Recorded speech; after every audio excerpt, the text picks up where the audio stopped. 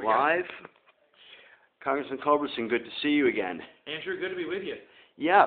So uh, these these new this proposal, uh, I hear will proposal not there's not even a rule circulated, is there? There's nothing being Mm. concrete. It's just letters going back and forth. Am That's I right? true. The House Administration Committee is considering a rule that they can adopt by a simple majority vote in committee that would uh, limit the ability of members of Congress to post on outside blogs, websites, whether it be video or text. What the Administration Committee is trying to do, Andrew, is for the first time regulate the Internet and Hmm. limit the access to using the Internet. The rule would require your website, Andrew, to be certified and approved by House Franking Committee before I could do this quick interview or before I could post on your blog. And uh, I would have to uh, also have the content, I'd have to have a disclaimer. First, your website would have to be approved. Secondly, I'd have to put a disclaimer on my post or my Qik video that it is an official federal communication from a federal office for official purposes. And then finally, the content of my post or my blog or my text or video would be subject to prior approval by the House Franking Committee. So Franking Committee that brings up an interesting question. What does franking, uh, using government resources, you know, free mail, have to do with a service that you're paying for? You know, you that's I'm assuming that you're using, for instance, uh, your your campaigns, uh, BlackBerry for your twittering, and your own personal phone for your videos. What government resources are being expended Right. that they would have to exercise oversight to? Actually, I'm communicating in my official capacity as congressman over a Nokia phone that belongs to my office because it is a, uh, I have to keep the two worlds completely Right. separate. I, uh, one of the few television shows I really love and watch are Seinfeld and Raymond. And you, know you remember on Seinfeld, Yeah. George brought the girlfriend to Right. the apartment once, and We went wild. You know, the two worlds hit we boom. we talked about that before. Yeah, Yeah, I got to keep the two worlds separate. So I have a Nokia phone for the campaign, and I have a Nokia phone for the office, and those are Right. both linked to my Qik website. But- and I can use I use the official phone, for example, today. Andrew, we'll be voting within the next 15 to 30 minutes, and I'm going to take my official Nokia phone to the House floor. I'm going to find Mike Capuano, who's the chairman of House Franking, who's a nice guy. We're good friends. And I'm going to talk to him about this and say, listen, Mike, you have about as much chance of regulating the internet as King Canute did of stopping the tide.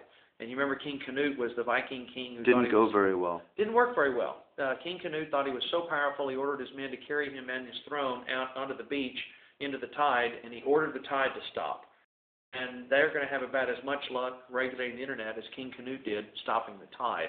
So I'm going to point that out to Mike in a friendly way, nonpartisan, and suggest that they really need to back off of this rule and simply allow members to use good judgment. And obviously, I'm not going to go to a uh, using official resources, go to a website and say vote for me. I mean, that's That's against the law. it's idiotic. I mean, yeah, it would be it's common sense. Yeah, Right. it's against the law. I can't I can't use my office to tell people to vote for me. That's uh, no, that's what a campaign's for. it's common sense. That's why the two worlds, like George on Seinfeld, you know, you got to keep them Exactly. separate. That's but that's duh, you know, common sense. So anyway, I'm going to try to solve this, frankly, Andrew, today on the internet, and if I'm able to do so, and I think we can, I've got a good shot at this because of all the emails. Because last night, as you know, I twittered this, and we Yeah. got a huge response. I, I- yeah, I was going to ask about that. Um, you've you've gotten really a lot of support across the whole com- internet community from Republicans and Democrats, Libertarians. libertarians, everyone. Right. I, I don't think I've I've seen a single post a- against you. Um, and he, and speaking of Twitter, wh- what's what's the problem there? Why do you think that, or what what's the rationale behind or pre-approving a tool that allows you to directly communicate with your constituents? I mean, I sent you a message last night saying, hey, do you want to talk about this? And you you replied. Normally, to contact your congressman, I mean, I don't know if every all 435 of you have the stamina for this, but it's got to go through all you know the LCs and all these. This let this gives a direct channel. Why true. why would anyone have a problem with that? Uh, beats me. I love it. This is, my goal is to become a real-time representative, Andrew, and as a Congress. A As you thief said. can't- A thief can't steal your money in the daylight. I mean, that's why they put streetlights up. The time that they're gonna get their hand in your pocket and take your money is in the dead of night. It's a good thing to shine sunlight in all the corners of Congress, because there's a lot of people up here that wanna get their hand in your pocket and take your money, uh, taxes or whatever. So it's, to me, a sunshine project. Uh, Andrew, uh, it's also a matter, of truly, my, my hero here, Thomas Jefferson, this is something he would have loved.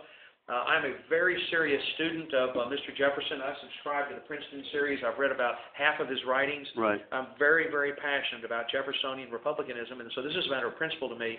And Twitter to me is a way of communicating directly in real time with my constituents, with other people. It's a way to engage in friendly, informative debate with people who may or may not agree with you. And uh, frankly, this uh, rule that the Democrats are trying, I'm going to keep this nonpartisan, this rule that the House leadership is attempting to pass uh, is going to fail. There's no way that they can regulate the Internet or stop us with our constituents. I'm going to continue to use Twitter. I'm Right. going to continue to aggressively use every form of social media to communicate. And what are they going to do about it? I mean, how are they going to stop me? They're not going to stop me. Well, I, w- I was going to ask you. I mean, you're you're an attorney. First Amendment. Why don't you have a First Amendment right to communicate with your Absolutely. constituents and Absolutely. and them to communicate with you? Absolutely. Within the bounds of common sense and obvious prohibitions in the law, for example, using official resources For to promote my campaign, to either promote myself, uh, to help, obviously I can't use official resources to enrich myself. You know, this is not a job that I'm ever going to get rich at. That's not the reason we're here. It's public service. So with those obvious exceptions, I'm going to use the uh, official resources to communicate with my district. I'm combining video, for example, Andrew, with a telephone town hall meeting. I have software technology that can dial 70,000, 100,000 homes in my district, and they can talk to me in a big conference call, one at a time, of course, but everybody can listen. And the other night, and I'm going to start doing this regularly, I combined the video. With the uh, the town With the hall on, telephone on town hall. Right? That's right. So people were able to text me questions, ask me questions on the telephone, watch me live on the video, and of course listen at the same time on the phone. So this is allowing us to really shine sunlight into the government, and we the people can see and hear and communicate with our elected officials in a way that's never been before. And to me, it's tremendously exciting and a lot of fun. Do you think that this is a, an attempt? I mean, uh, Leader Boehner was saying this is you know censorship, censorship. Do you think this is a blatant, you know, partisan attempt at censorship, or do you think it's just a misunderstanding? I, I don't know that it's, I don't know that, I have to say, I don't think it's partisan. I have to give them the benefit of the doubt. I think that it is a, uh, it may be driven by probably, uh, fear, uh, ignorance. I don't think they know what to do with the internet. Nobody in Congress, I'm the first one on Twitter and to use this technology. Uh, Tim, uh, Tim Ryan has been using it a little bit from Ohio. Yep. Uh, some other people are using it. I think staff is just Staff are typing in the it. Twitters. So I'm the first one to really do it personally, and I just they don't know what to do with it. They just this is, you know, I asked a question the other day. I had to contact when I called.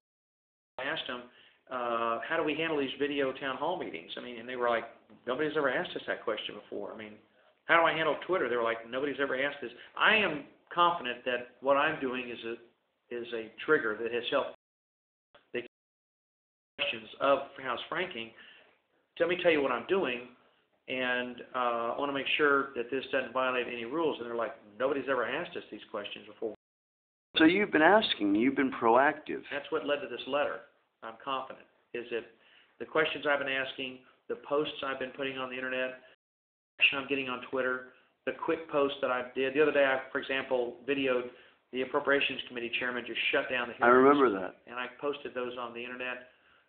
I've told them, I've made it clear that I'm, I'm moving to the point where I'm going to go into a rules committee meeting that's that's a, a public hearing where they pulled all the television cameras out, and I'm going to take the camera in with that red light and start videoing Right. public hearings that they don't want the public to see.